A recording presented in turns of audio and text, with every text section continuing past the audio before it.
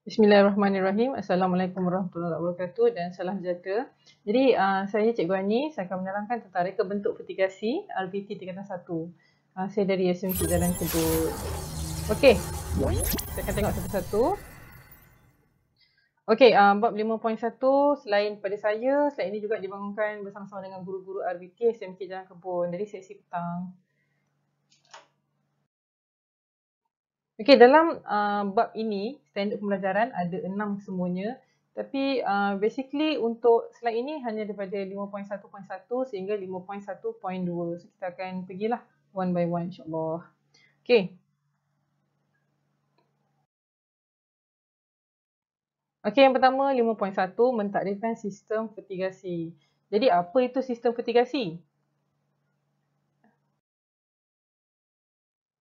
Sistem vertigasi adalah sistem yang merupakan sistem pengeluaran tanaman yang menggunakan sistem pengairan pembajaan yang rapi. Larutan baja dalam air dibekalkan ke zon pengakaran secara serentak dengan menggunakan sistem pengairan. So kita akan tahulah sistem pengairan digunakan tu sistem pengairan yang macam mana. Okay. Okay, pengenalan dia as simple as merupakan satu daripada cabang hidroponik iaitu satu kaedah penanaman tanpa tanah. Maksudnya tiada tanah kat situ. Uh, dia akan menggunakan medium lain.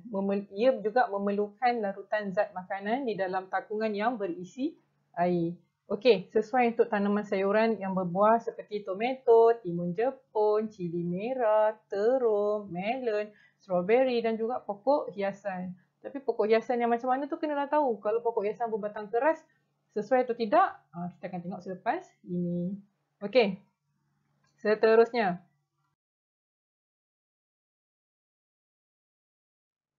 Teknik penanaman. Uh, sini saya kita boleh rujuk pada buku teks awal. Eh. So teknik penanaman ada enam semuanya. Teknik yang pertama adalah teknik aliran cetek. Teknik kedua adalah teknik aliran dalam.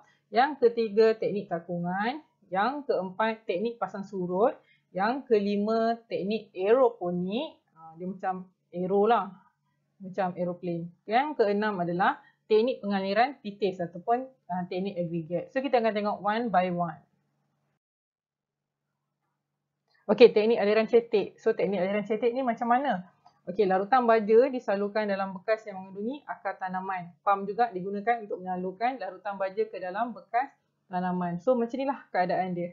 Kita tengok larutan baja disalurkan Larutan baja disalurkan dalam bekas tanaman yang mengandungi akar. So ni bahagian atas ni adalah bekas tanaman. Dia mengandungi akar kat situ.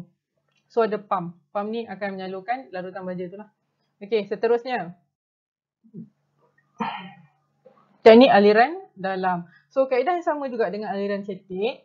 Cuma perbezaan dia menggunakan bekas tanaman yang lebih besar dalam uh, uh, dalam serta aliran aliran keluar air. So, kita tengok kat sini. Ha, tergagap saya. So kat sini ada lebih kurang sama cuma bezanya dia lebih besar. Ha, itu je beza dia. Bekas tanaman dia boleh tengok lebih besar. Ha, dia punya ha, akar tu akan terendam lebih dalam lah. Okey, seterusnya teknik yang seterusnya adalah teknik yang ketiga.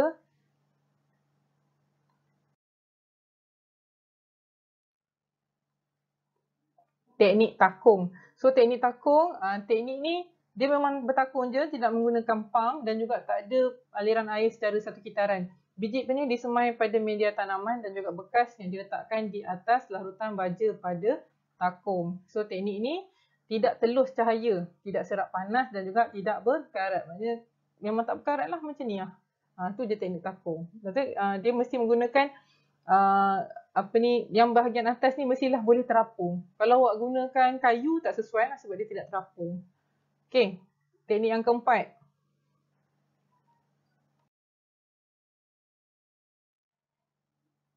Teknik yang keempat adalah teknik pasang surut. Teknik pasang surut, dia akan menggunakan satu kat sini kita panggil tiup sifon untuk mengawal pengaliran masuk dan juga keluaran larutan baja. So, larutan baja akan keluar kat sini lah. Tiup sifon ni, once dia air naik, uh, tiup sifon tu akan terapung, kemudian air keluar. Air naik, air keluar. Air masuk, air keluar lah. So pengatur masa ataupun timer digunakan untuk menghidupkan pump mengikut masa yang kita tetapkan. So timer ni dia tahu function dia. Uh, ini uh, dengan adanya timer, elektrik boleh dijimatkan. Okey, seterusnya.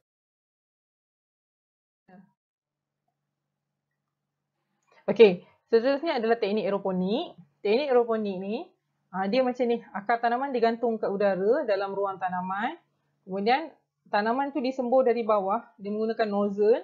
Dia mengikut masa yang telah ditetapkan lah. So nozzle ni dia akan hantar dekat akar tu. So kat sini, uh, kalau satu nozzle rosak, dia akan melibatkan satu tanaman.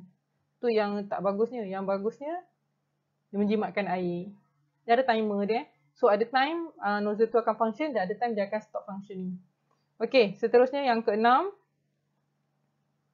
Ah, akan cepat menyerap. Okey, seterusnya.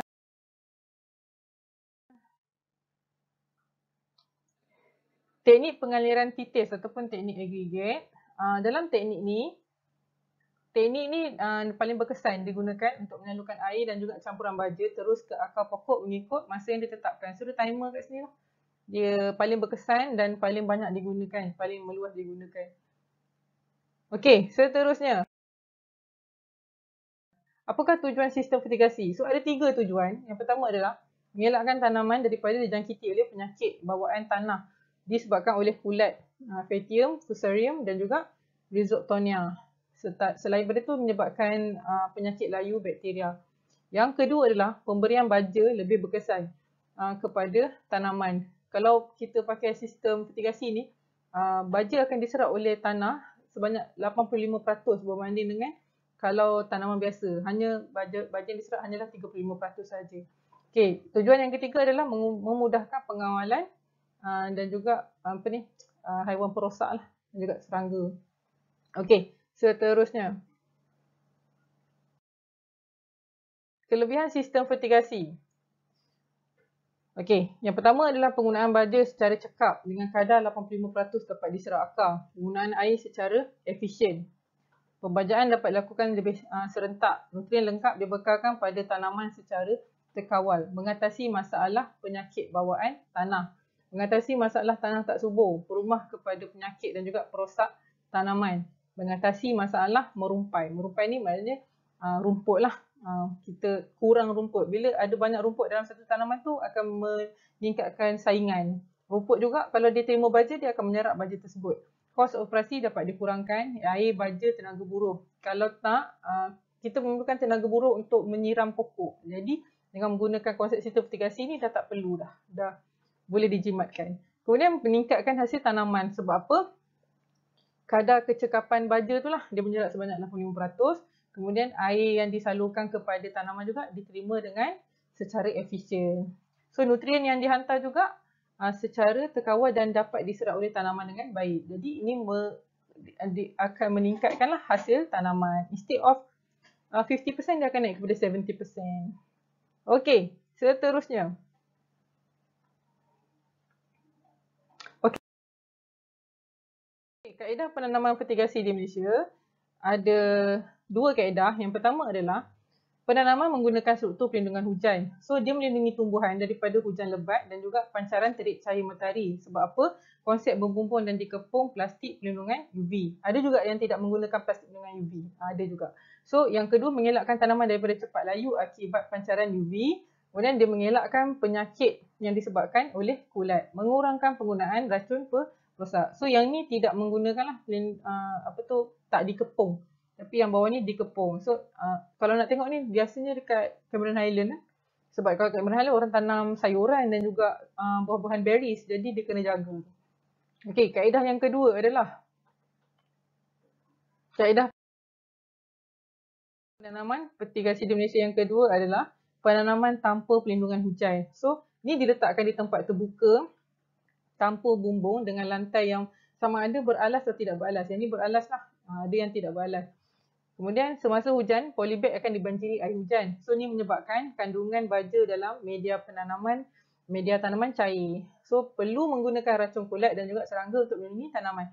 Ini kalau tak bukan dalam polybag ni, orang tengok orang tanam uh, secara meluas lah kat, dekat dekat uh, kawasan kebun, uh, konsep dia sama macam tu, tanpa perlindungan hujan.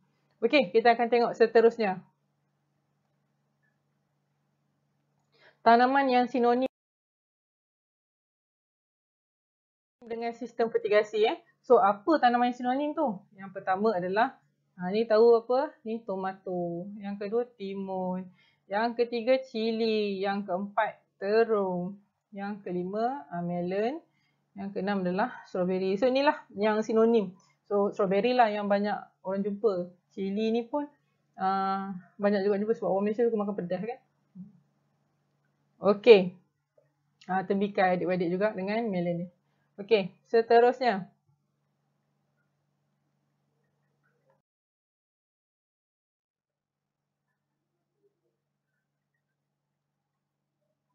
Okay, kita nak tengok eh, perbandingan sistem fertigasi dan juga sistem konvensional.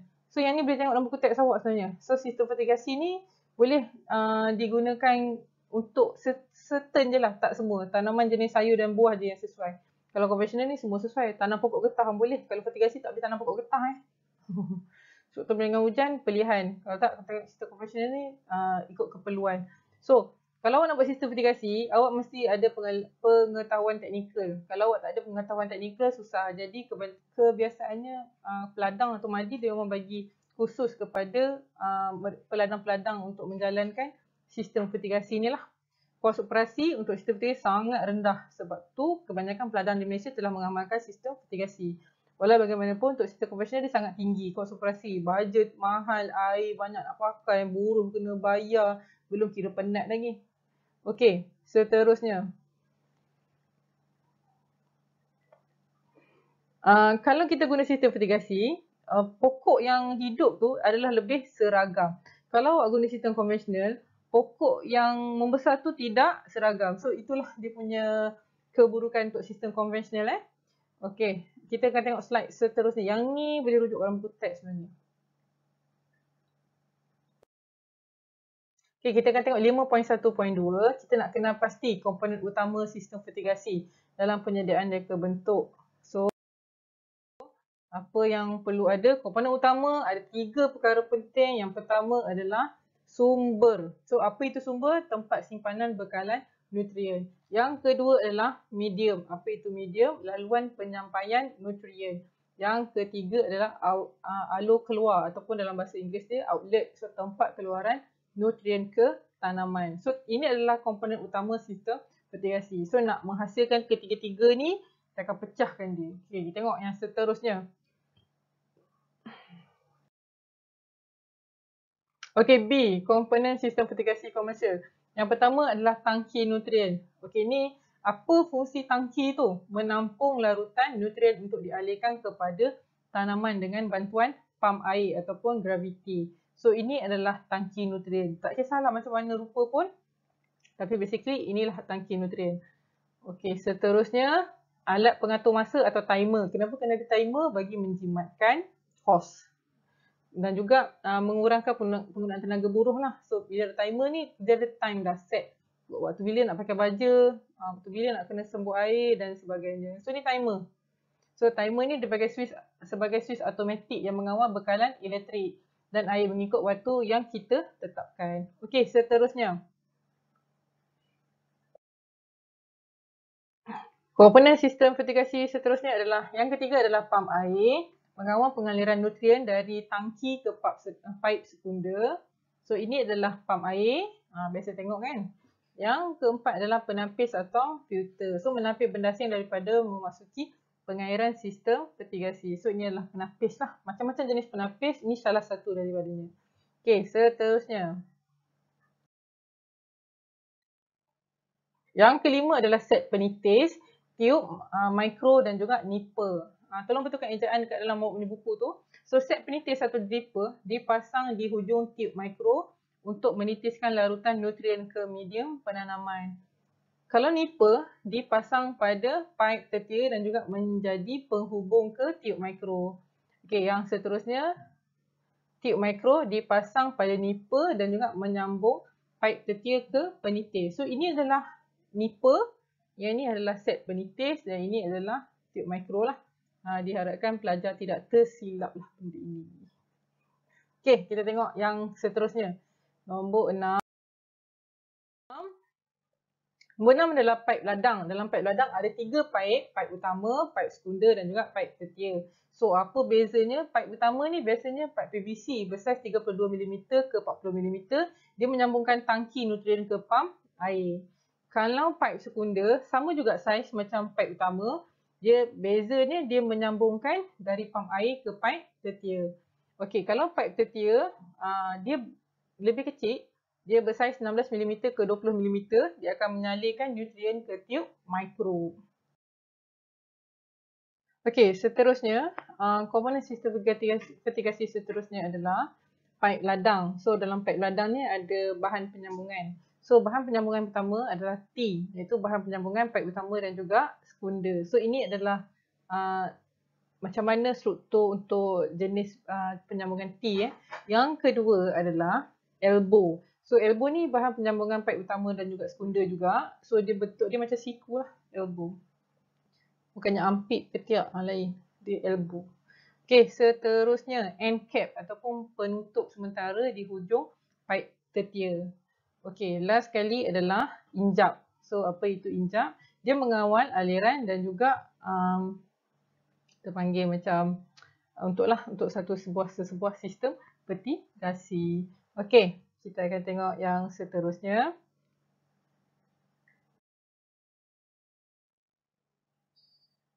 Bekalan elektrik. So bekalan elektrik ni kita kena tahu dia akan membekalkan kuasa elektrik ke pump air. Kalau tak ada bekalan elektrik, maknanya katakanlah terputus, pump tak akan ber, ber, ber, ber, beroperasi. Jadi selain daripada tu pengatur masa ataupun timer pun tak beroperasi. Jadi akan memberikan kesan kepada uh, penyiraman kita lah kepada pokok. Okey, seterusnya dalam sumber air, uh, sumber air diperlukan dalam kuantiti yang banyak bagi menyalurkan nutrien ke zon akar nilai pH tu kita kena pastikan dia sesuai antara 5.5 ke 6.5. Kita akan ukur dengan menggunakan pH meter serta isi meter. Okey, sumber air tu nak dapat daripada mana? Sama ada sungai, kolam, tasik, mata air, air paip, uh, air hujan ataupun telaga. Mana-mana saja asalkan ianya sumber bersih, uh, kita ikut tahap kesesuaian pH dia lah. Sesuai ataupun tidak. Sebab apa? Nanti dia akan merosakkan tumbuhan dan juga tanah kalau tak sesuai. Okey, seterusnya.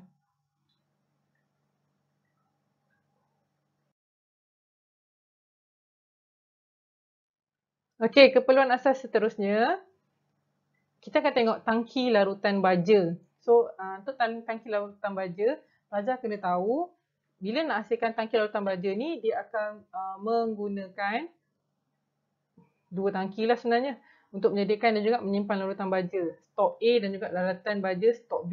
So larutan stok baja ni, baja vertigasi A dan B adalah berbentuk serbuk dan juga perlu dilarutkan dalam tangki mengikut sukatan yang betul. Maknanya awak bancuhlah dengan air, dia serbuk, kita bancuh dengan air. So larutan ni uh, dalam bentuk cecair ada juga terdapat di pasaran tapi mungkin dia berat. Jadi kita akan guna kebiasaannya peladang-peladang akan menggunakan larutan baja yang jenis serbuk lah kemudian dia akan balik dan juga uh, bancuh dengan air. Okey, yang seterusnya.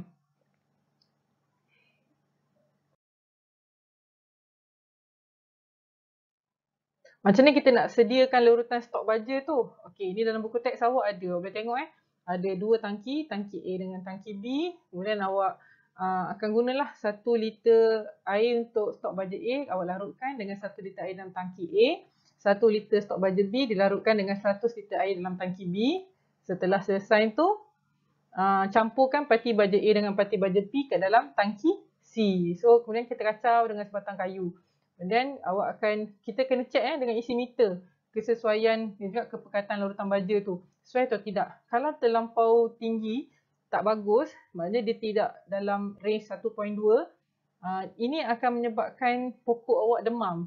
Ha, so kalau pokok demam dia rosak lah dan juga tidak tumbuh dengan baik dan juga sekata dan juga seragam lah. Okey kita tengok slide seterusnya.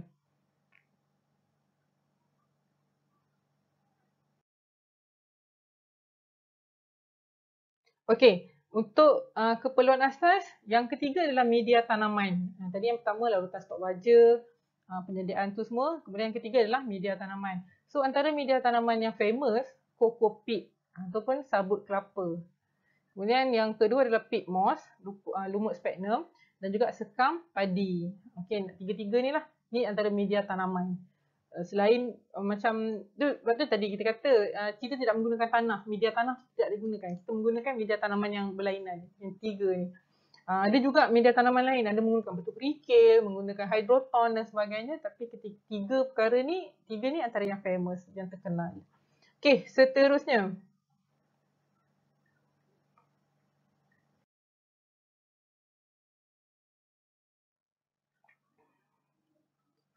Selain itu, biji benih. So, biji benih ni kena pilih biji benih yang baik lah. Dan juga berkualiti. Bebas daripada sebarang penyakit. Ada juga biji benih yang jenis hybrid senang bercambah dan juga pertumbuhan dia lebih seragam. So inilah benih uh, jenis cili jambak dan juga uh, yang seterusnya ini melon punya eh, biji uh, biji benih tu. So ada macam-macam yang terdapat di pasaran kalau kedai RM2 pun ada sebenarnya. Uh, saya tak tunjuk je kalau saya tunjuk ni macam-macam ada. Tapi tengoklah kadang-kadang ada kawan saya beli um, biji benih tu dia tulis uh, kobis bulat. Tiba-tiba keluar tak bulat bentuk macam kangkung. Uh, tengoklah kenapa. Okay, sebab tu kita kena pilih yang bersesuaian, yang baik. Okay, seterusnya.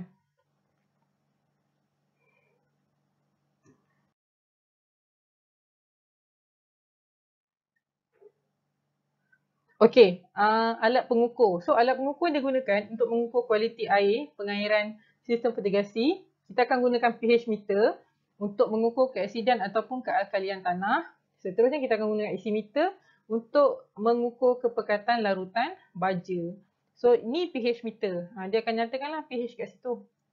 Ha, 6.5.6 ke 7.0 ke. Ini pH meter. Dia akan nyatakanlah asid dengan alkali. Kemudian ini isi meter. Nak nak check larutan baja tu. Hmm, termometer boleh guna tak? Tak boleh. Kita tak guna termometer. Okey, seterusnya.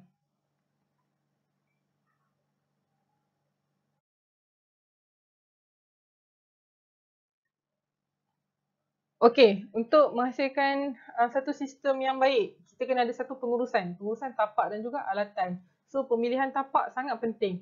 Tapak tu uh, untuk penanaman adalah diratakan supaya aliran baja ke tanaman adalah sama. Maknanya tak adalah tanaman yang terima baja dan terima banyak. Tak ada tak ada tanaman yang kayangan, tak ada tanaman mahain maksudnya. Kuantiti air baja yang sama ke setiap pokok adalah penting bagi mencapai pembesaran yang seragam. Yang kedua sumber air. Awak pas, perlu pastikan sumber air tu bersih. Kalau tak bersih apa jadi? Nanti pokok awak tidak menerima sumber yang uh, secukupnya. Gunakan pH meter untuk mengetahui nilai pH yang digunakan. Anggaran kos. Kena pasti modal permulaan. Kos yang awak kena tahu adalah kos pengairan, sistem pengairan, polybag, media tanaman, racun serangga, racun kulat dan juga baju fertigasi. Kita tak boleh tertinggal langsung mungkin uh, untuk menghasilkan sistem mitigasi yang baik, kos dia pada awalnya adalah tinggi. Tapi selepas tu dia akan uh, murah dan awak akan dapat lihat yang sistem mitigasi ini adalah sistem yang sangat terbaik. Okey, seterusnya. Pemilihan jenis dan juga variety tanaman. So, pemilihan jenis tanaman perlu sesuai dengan persekitaran kawasan seperti suhu, kelembapan udara dan juga tahap pengurusan. Seterusnya biji benih tu yang kita pilih perlu disemai terlebih dahulu. Kemudian uh, nak semai kat mana? Dalam dulang semaian. Ada dua jenis. Yang pertama plastik hitam, yang kedua adalah polisterina. Bukannya main letak aja biji benih tu kita kena semai dulu sebenarnya. Yang kedua, yang ketiga selepas dua minggu anak benih uh, sedia untuk diubah ke dalam polybag. Dah semai, dah keluar anak pokok barulah alih. So, yang macam mana nak tengok? Ha, kita akan tunjuk eh, dulang semayam plastik hitam yang mana, kemudian dulang semayam polisterina yang mana. So, ni dulang semayam plastik hitam, yang warna hitam lah. Kedai RM2 ada jual, satu ni RM2. Kalau dulang semayam polisterina, dia bentuk warna dia warna putih lah, lebih ringan. Okey, ha, so nanti semai kat sini, letak media tanaman, letak biji benih. Bila dah naik, barulah alih masuklah dekat kawasan yang awak nak. So strawberry macam ni lah. Ha, dia semai dulu, lepas tu lah dia alihkan pokok strawberry tu pergi kat pasu-pasu tergantung dekat Cameron Highland tu. Okay, seterusnya.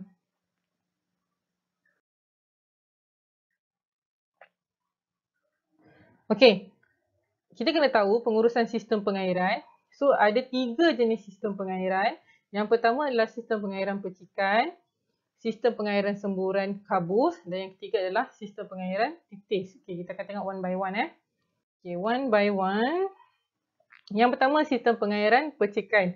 Semburan air dilakukan ke udara daripada nozzle jatuh semula ke tanah seperti air hujan. Semburan ni dipam masuk dengan tekanan tinggi melalui nozzle yang berputar 360 darjah. Jadi keep on berputar. Maksudnya macam kat padang-padang golf tu lah dia nak uh, percikan ke atas rumput-rumput tu. Dia tengok eh, dia akan pusing 360 darjah. Dia pusing lah.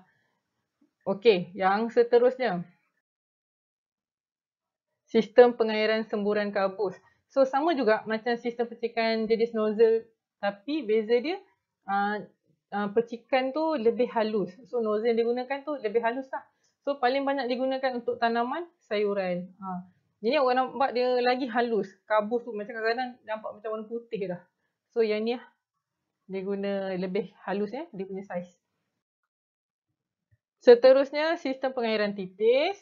Okey, kaedah pengairan ni uh, yang dibekalkan terus ke zon akar dengan tekanan yang rendah melalui penitis. Kaedah ni paling berkesan kerana mengelakkan pembaziran air baja.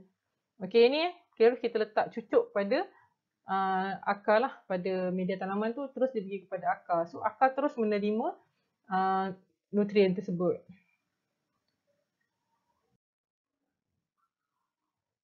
So yang ni uh, gambar pertama tu adalah sistem percikan. Yang kedua adalah sistem kabus tadi. Yang ketiga adalah penitis. Uh, sistem pengairan percikan yang pertama. Yang kedua sistem pengairan semburan kabus. Yang ketiga sistem pengairan titis. Boleh tengoklah perbezaan dia. Uh, percikan macam ni, kalau kabus tu dia macam pelang kabut je rupa dia. Kalau pengairan titis, kita cucuk terus ke akar tanaman. Okey. Uh, minggu depan, kita akan tengok slide seterusnya lah kerana bentuk baru sistem fertigasi. Ataupun cikgu awak akan terang sedikit lah nanti. Tengok. Kita tengok macam mana melalui Google Meet tidak.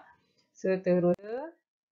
Uh, saya mengucapkan thank you. Terima kasih banyak kerana sudi menonton. Uh, slide ini juga dibangunkan bersama-sama dengan guru-guru lain. Uh, ni guru-guru RBT SMK Jalan Kebun, yang K Jalan Kebun, yang lain kita bangunkan bersama-sama eh. Okey, itu saja. Sekian terima kasih.